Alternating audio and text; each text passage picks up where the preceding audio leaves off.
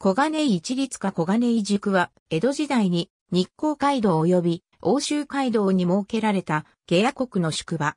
現在の栃木県下野市小金井に相当する。日光街道の江戸、日本橋から数えて14番目の宿場である。宿駅の管理は、当初は未部藩だったが、元禄9年以降は、幕府、法暦13年以降は、下宇佐桜藩、天明7年以降は、幕府、完成11年以降は再び、桜藩が担った。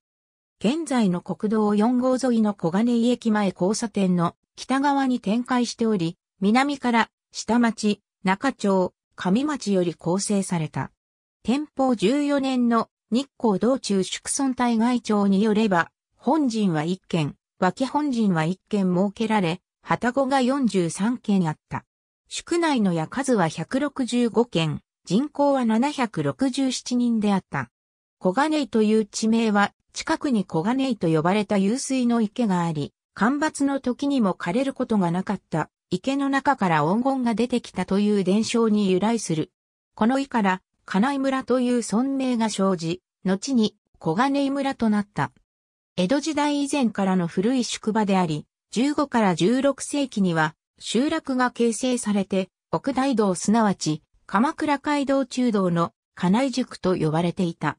各宿場町では、参勤交代や紅葉の人や物を運ぶために陣馬を常備する必要があったが、これを助けるために近隣の村々が助郷に指定された。